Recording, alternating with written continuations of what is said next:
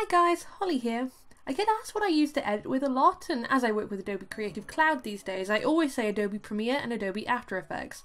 Now, beginners may not know what the difference is, and the easiest way to explain it is that you would generally use Premiere, which is a straightforward timeline, for longer projects like editing a whole film together, while you would use After Effects, which uses layers, to add effects and graphics to individual clips.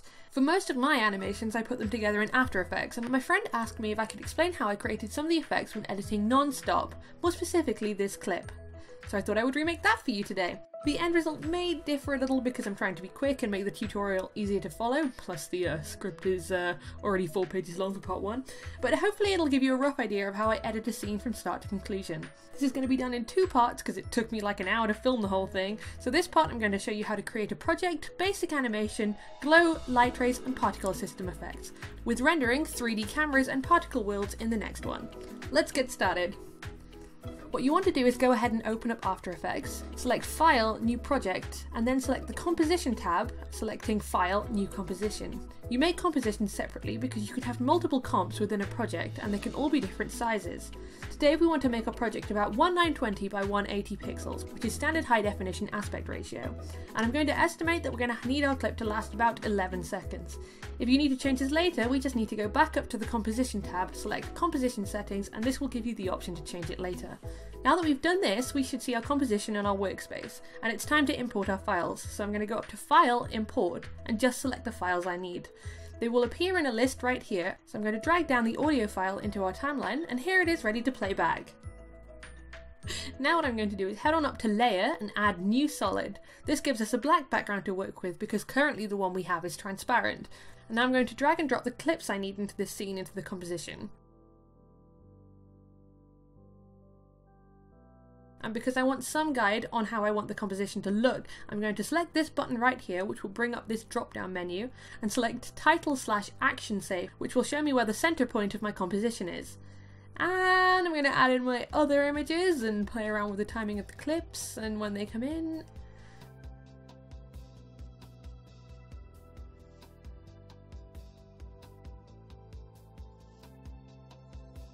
Okay, so now that I'm done with that, it's time to start animating our clips so I can make him move across the screen.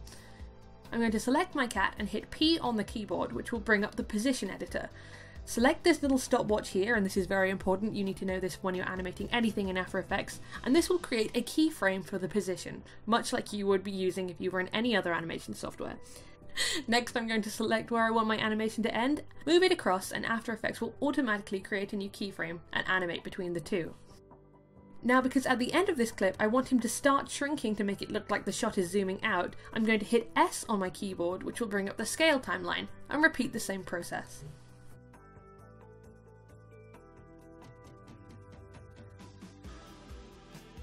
Now if After Effects hasn't interpreted your keyframes as a smooth motion like mine, don't panic.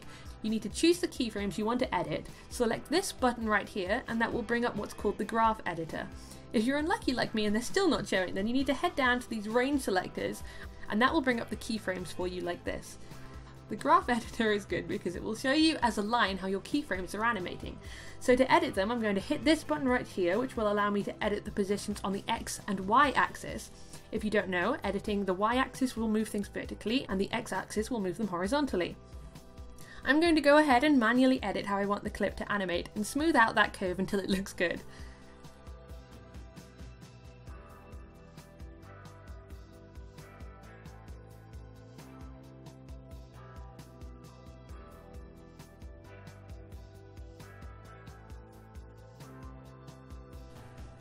I'm going to play about with the scale to make the animation a little punchier because I want a smooth motion. And then I'm going to click on this final keyframe right here, right click, select Keyframe Assistant, and add an ease, which will do most of the editing for me. This creates a smooth curve on the final keyframe. Once I'm happy with that, I'm going to move on to my other clips, and because there's two of them, I don't need to see both because it's uh, going to confuse me in the editing process. So I'm going to hit this I button right here, which will make the layer invisible.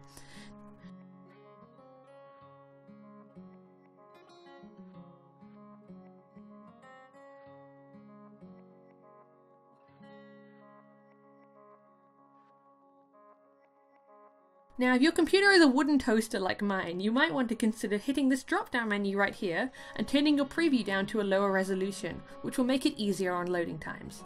Next I'm going to animate the visible layer as though it moves seamlessly from the first image. To animate this, it's much the same way we did with the first image by hitting P on my keyboard and animating the frames.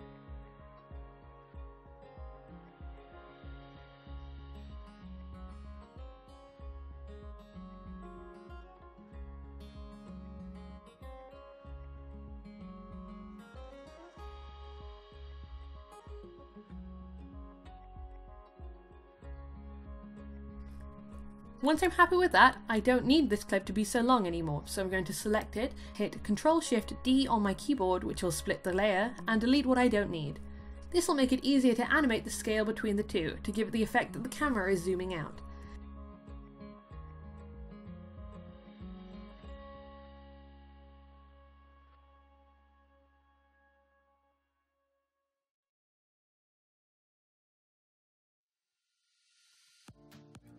Now you may think that this looks a little bit blocky and your eyes can tell that they're switching. What you need to do is select these three circles on here which will turn motion blur on for you and apply motion blur to your layers. If you don't have that option you're going to want to hit the toggle switch mode and check the box below the motion blur symbol.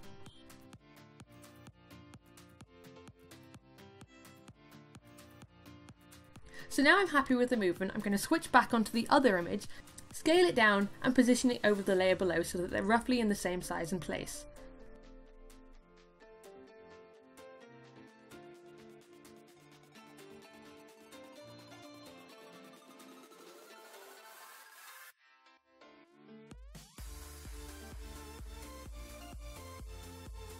Then I'm going to parent it to the layer we already have animated by selecting this swirl here and dragging it onto the layer below. What parenting does is that it will animate independently while still following the keyframes of the layer it is parented to. This saves me the hassle of reanimating what I've already made.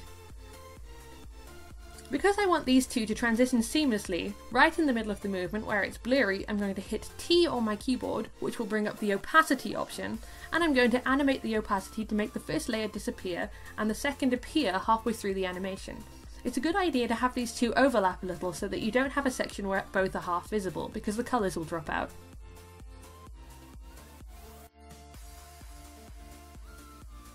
Lastly for this shot I'm going to drop in the background and animate it to mimic the camera move of the shot.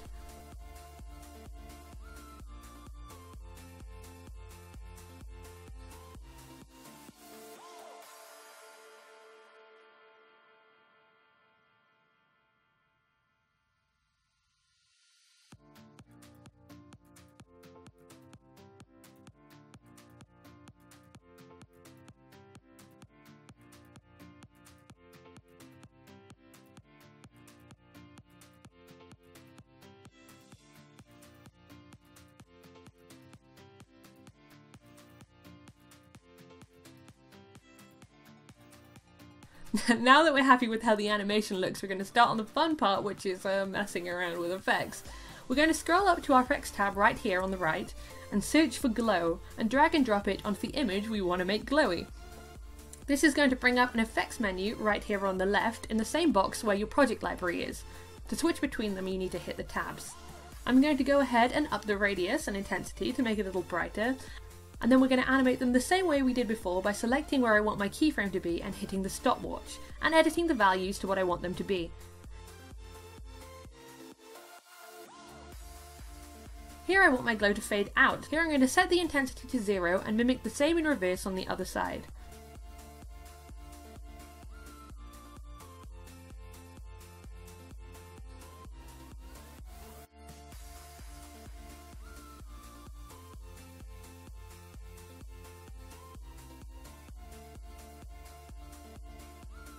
Now something I hadn't mentioned before is that if you want to view all of your animated keyframes applied to a layer, you select it and hit U on the keyboard and that will show you all of the keyframes that you've made on that one layer. This will make it easier for you to match animations to other animations.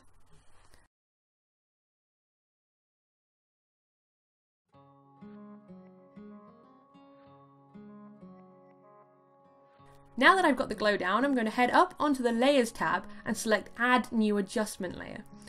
An adjustment layer will apply all effects onto layers below it, unlike what we did with the glow, which was to apply it to an individual image. Next we're going to go back into effects, search up light rays and apply it to our adjustment layer.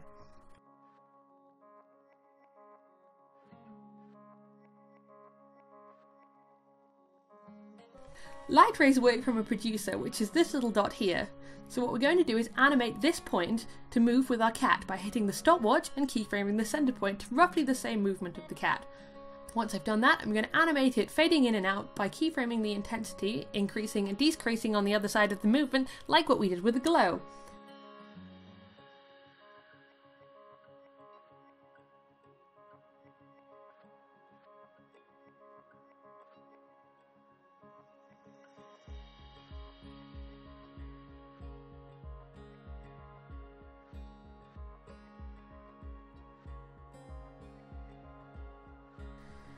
Now we're going to move on to our final effect for this shot. After Effects has lots of different types of simulations, but with this project we're only going to be working with particle systems and particle worlds. For this shot, as we need it to animate from Producer, we're going to be using a particle system.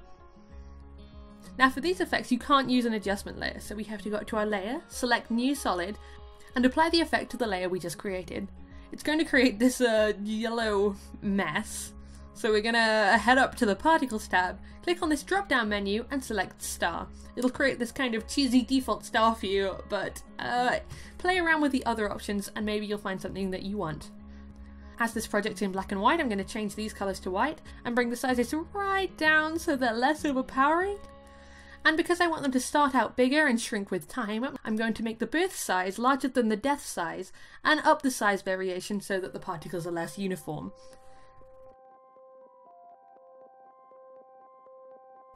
Next I'm going to lower the birth rate so that my computer can uh, handle the pressure and open up the physics tab.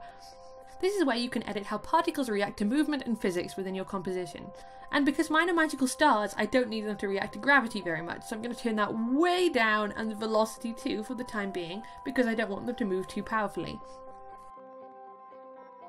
Then I'm going to open up the Producer tab and animate this in much the same way I did with the light rays by moving the center point to roughly match the cat.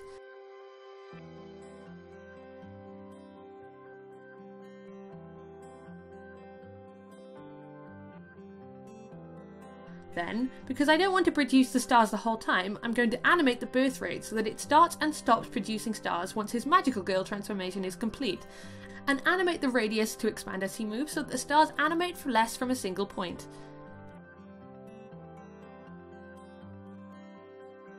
Playing with particles can be quite tricky and you'll need to work with physics to get the look which is best for you. It takes me a little while to get them looking right, and I can't say exactly what will work for you, but have a play around and I'm sure you'll be able to create what you need. I'm going to go back and have a mess about with my keyframes to really make the animation pop until my computer always crashes and realise that I haven't saved the entire time, so please take this as a reminder to save your work frequently.